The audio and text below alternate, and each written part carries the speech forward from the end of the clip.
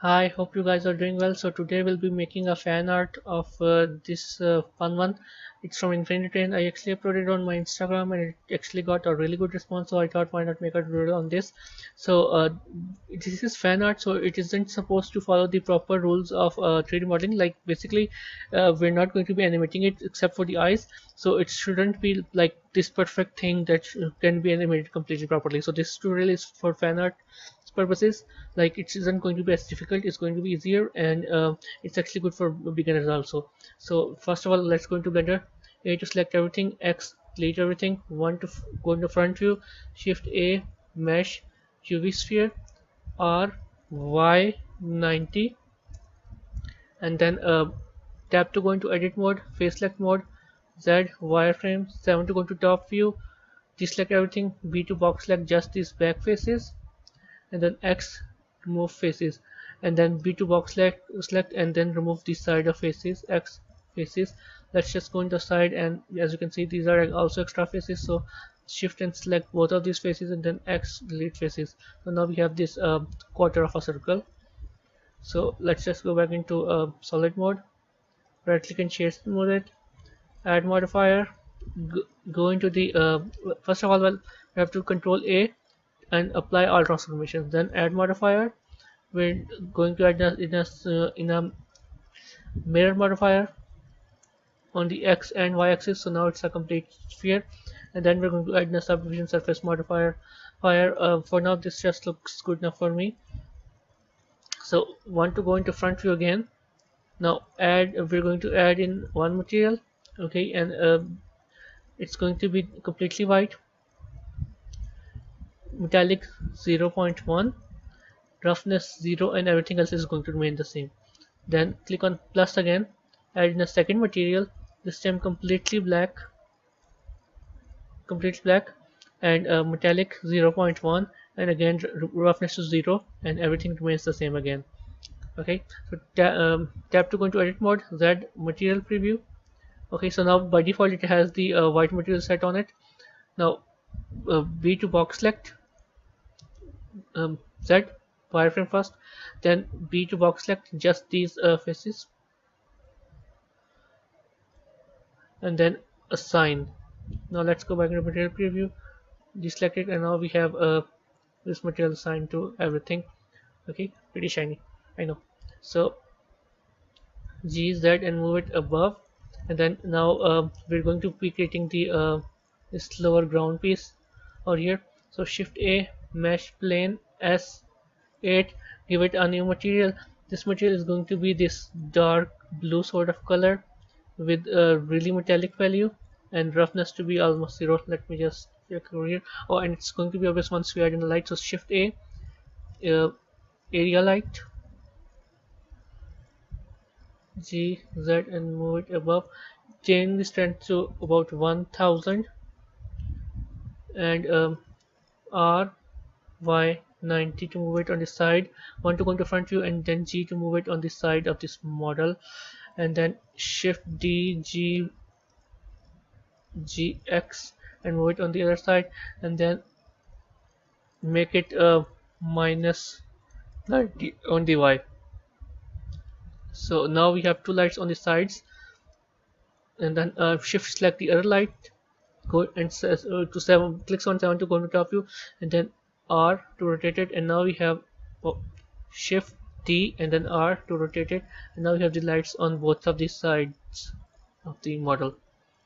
Floor for some reason isn't um, oh and we have to turn on bloom and also screen space reflections and refractions and now you can see that uh, it's starting to reflect like we actually wanted it to. Okay um, I should have created a uh, separate uh, collection for the lights but you know let's just continue. So shift a um, mesh circle scale it to make it pretty small rx90 this, these are going to be the eyes and then tap to go into edit mode and then click on f.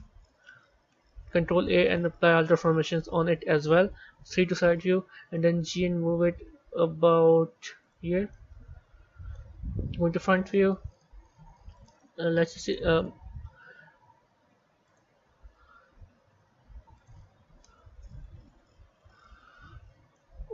G and Y and move it like on the front over here. And scale it again to make it smaller go to material preview. And uh, give it a new material. It's going to be an emission material.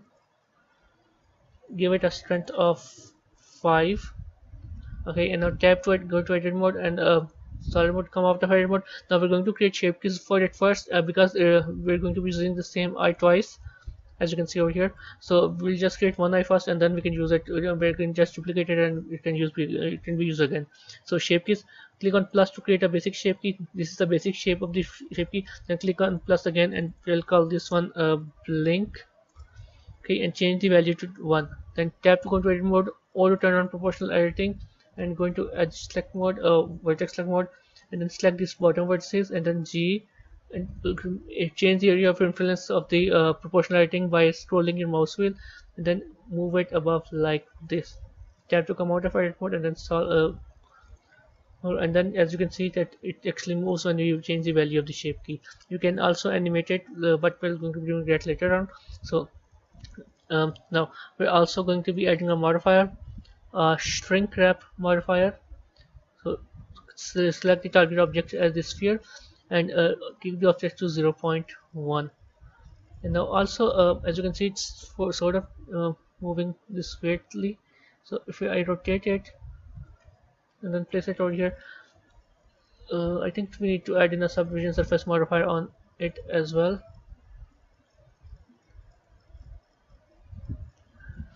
And also I guess the shrink wrap, shrink wrap needs to have a little bit more offset I think this much uh, 0.03 is good enough.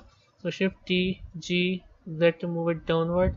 And now we have two of the eyes ready.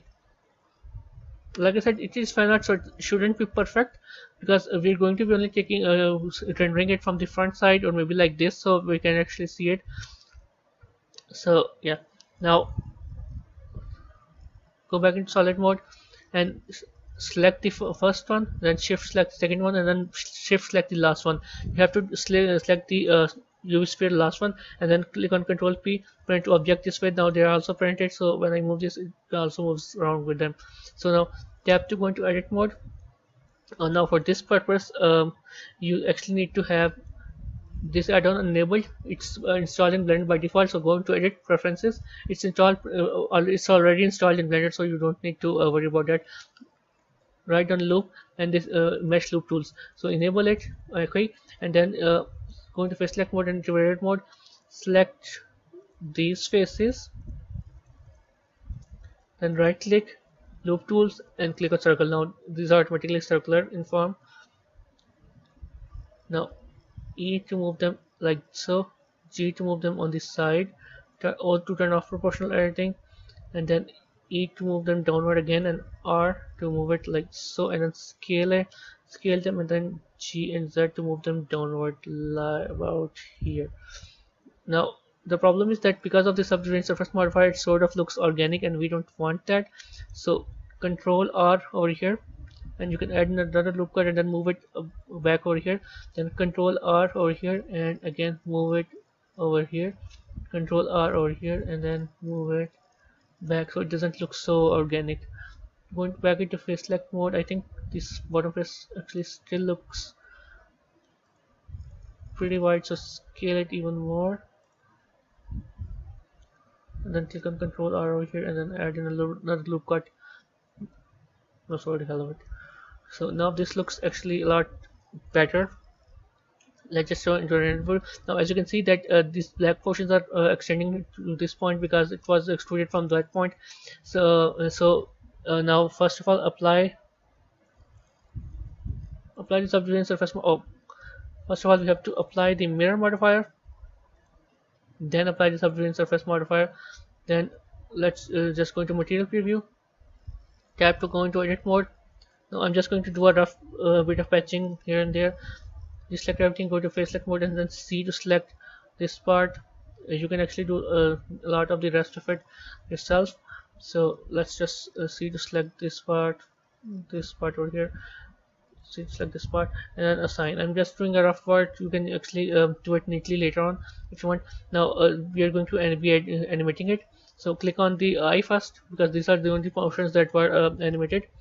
So while, uh, while with the eye animator selected go into shader editor one, open the timeline shift D to duplicate the emission shader change it to blue add in a mix shader shift A shirts and mix shader and assign those two and then a color ramp okay and connect the color of the color ramp to the factor and now we're going to be adding our keyframe. So select this one while on frame one on the position click I and then click this one and then click on I again. Now we have two keyframes now now on frame 20 on frame 20 move this to about over here. So this way now the blue color will be selected. So click on I again for the position. Select this one there from and then click I again. Now when I go back to 3d viewport and see the material preview you can actually see that it changes from white to blue. Okay so you can also do this with the uh, shape key. Let me just show you. On frame uh, 1 on frame 1 the uh, blink one's value is 0 I click on I. Then on frame 20 I go frame 20 to change the value to 1 and then click on I again. So this way whenever I move it you can see over here that the uh, shape key works.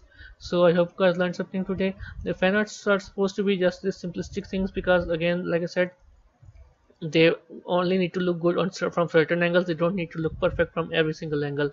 So please subscribe our channel leave a like and I hope to see you next time. Goodbye